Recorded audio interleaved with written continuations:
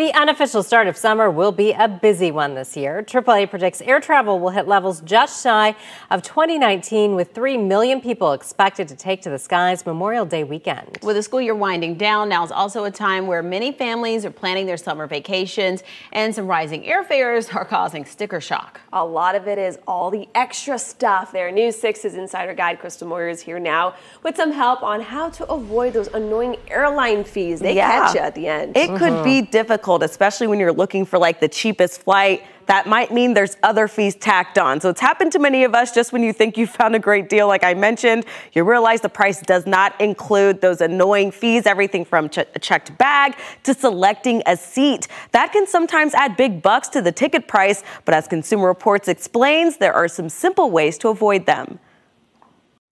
Consumer Reports editor Ponche Ho thought she was getting a good deal on a flight to Florida until she looked a little closer. It was a carry-on bag fee that I was most surprised by. The fees for my flight uh, were more expensive than the airfare itself. Ponche's experience is not uncommon, according to Consumer Reports aviation advisor Bill McGee. These days, many airlines make more money off of fees than they do over base airfares. So, what can you do to save? Start by checking out the airline's website to find out exactly what's included in the price for the type of ticket you are considering. Then decide what extras you're willing to pay for.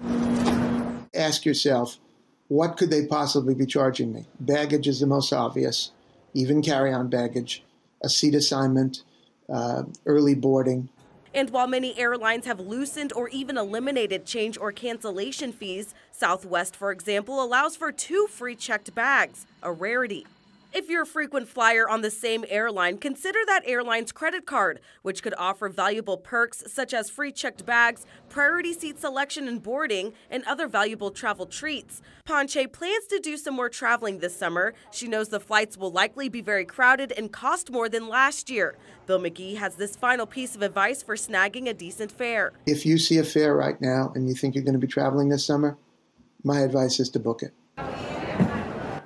That's right, book it if you're trying to avoid a checked bag fee by you can tr- avoid a checked bag fee by only packing a carry-on. Consumer Report says to remember there are very strict rules when it comes to the sizes of any carry-ons you may have. Ladies, you know when you go to the airport, mm-hmm. they have mm-hmm. those stands. Mm-hmm. Yeah, make sure you don't pack anything larger than that because they're going to make you check it. Yeah, a lot of them now charge for the carry-on too, but you can stick a lot of things in a personal item. You yeah. know? Yes. and you can wear a lot of things. You know what? If you use those packing cubes that makes yeah. everything so much easier. Yeah, to, to yes. get everything like mm -hmm. condensed down. That makes a big difference. Let me tell you the difference yeah. between my purse on a regular day and my purse yeah. when I'm at the airport.